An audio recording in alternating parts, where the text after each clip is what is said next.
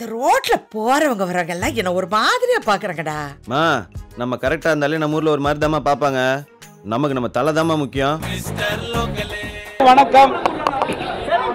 இன்னைக்கு தென்னிந்திய நடிகர் சங்கத்தினுடைய சிறப்பு செயற்குழு கூட்டம் நடந்தது.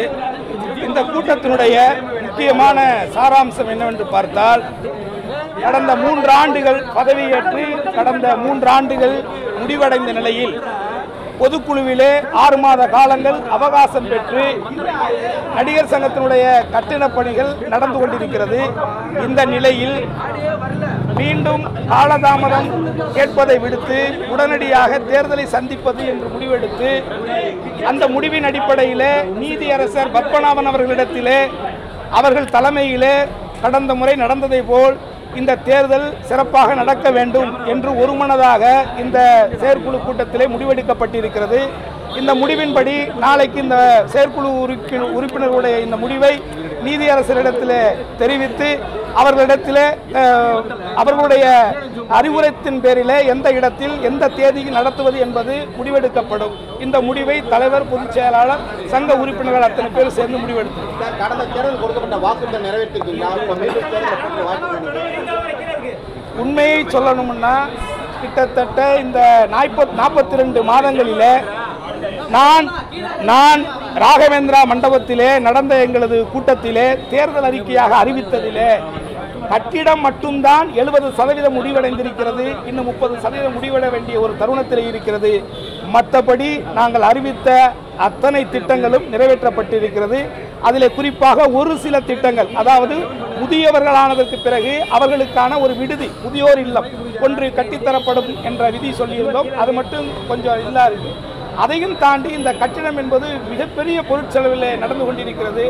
இன்னும் சொல்லப்போனால் இந்த கட்டிடம் முடிவடைந்ததுக்கு பிறகுதான் ஒட்டுமொத்த இந்தியாவில் இருக்கக்கூடிய அத்தனை பேருமே அதை பாராட்டக்கூடிய ஒரு கட்டிடமாக இருக்கும்.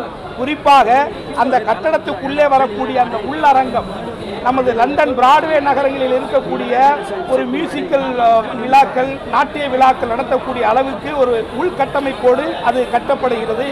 ஆகவே நிச்சயமாக தென்னகத்தில் இருக்கக்கூடிய அரங்கத்திலேயே ஒரு இசை நிகழ்ச்சி நடத்துவதற்கோ இல்லை வெளிநாட்டு கலைஞர்களை வந்து இங்கே இசை நிகழ்ச்சி நடத்துவதற்கான ஒரு அற்புதமான ஒரு அரங்கம். ஆகவே அது இன்னும் ஒரு முப்பது சதவீதம் வேலை நிறைவு பெற வேண்டியிருக்கிறது. அதற்காக இன்றைக்கு நடிகர்களே குறிப்பாக இன்றைக்கு கார்த்திக் அவர்கள் வந்து ஐம்பது லட்சம் ரூபாயை இன்றைக்கு நன்கொடையாக உதவி இருக்கிறார் விஷால் அவர்கள் ஒரு இருபத்தஞ்சு லட்சமாக ரூபாயை அறிவித்திருக்கிறார். இப்படி இந்த தொ- இந்த நிலை வந்து தொடர்ந்து போயிட்டு இல்ல அது நீங்க அந்த கட்டிடத்தை போய் பாருங்க. அது எவ்வளவு பிரம்மாண்டமான ஒரு கட்டிடம் அப்படிங்கிறத போய் பாருங்க. பார்த்துட்டு அதுக்கப்புறம் நீங்க அதை கேளுங்க. ஏன்னா இன்னொன்று பொது காரியம். அதுவும் பொது காரியம்னா ரெண்டு இசை நிகழ்ச்சிகள் கலை நிகழ்ச்சி நடத்தி பெறப்பட்ட பணம். இப்படி இன்ன வரைக்கும் வங்கியில் லோன் வாங்கலை. இதுக்கு முன்னாடி அந்த காலத்தில் இருந்த சங்கம் லோன்ல இருந்துச்சு. அதுக்கு பிறகு லோன்ல இருந்தால் தான் பிரச்சனையாச்சு. ஸோ அதனால எந்த சூழ்நிலையிலையும் இந்த சங்க தென்னிந்திய நடிகர் சங்கத்துடைய சொத்துக்கள் எந்த ஒரு வங்கியிலையும் பிணையமாக இருக்கக்கூடாது. வங்கிகளில் பணம் பெறக்கூடாதுங்கிற முடிவில் இந்த நிர்வாகம் ரொம்ப நடுநிலையாக இருக்கு. அதனால உறுதியாக இருக்கு. சுதந்திர சுதந்திர இந்தியாவின் முதல் எதிரி தீவிரவாதி வந்து இந்து அப்படின்னு கமெண்ட் பேசுற சக்தி இருக்கு. அவர் மீது இரண்டு வழக்கு பதிவு செய்யப்பட்டிருக்கு. ஒரு சக நடிகரா நீங்க எப்படி அதாவது பத்மஸ்ரீ கமலஹாசன் அவர்கள் இந்தியாவிலேயே ஒரு மிகச்சிறந்த கலைஞர். அவர் இன்றைக்கு அரசியல் பிரவேசம் என்பது மக்கள் மீது அவருக்கு ஏற்பட்டிருக்கிற ஒரு பட்டுத்தினுடைய வெளிப்பாடாகத்தான் நான் பார்க்கிறேன். அந்த விதத்திலே நடந்து கொண்டிருக்கக்கூடிய இந்த இடைத்தேர்தல்களிலே அவர் நேரடியாக சென்று மக்களை சந்தித்து வாக்குகளை சேகரிக்கிறார். குறிப்பாக அந்த கோட்சையை பற்றி அவர் சொன்ன கருத்து என்பது அவருடைய கருத்து. அந்த கருத்திலே உடன்பாடு இருப்பவர்கள் அதை ஏற்றுக்கொள்ளலாம். மறுப்பவர்கள் அதற்கு மறுப்பு கருத்து தெரிவிக்கலாம். அதை விடுத்து அவரை நாக்கறுப்பேன் கையை அறுப்பேன் என்று பேசுவதெல்லாம் நாகரிகமானது நாகரிகமானதல்ல.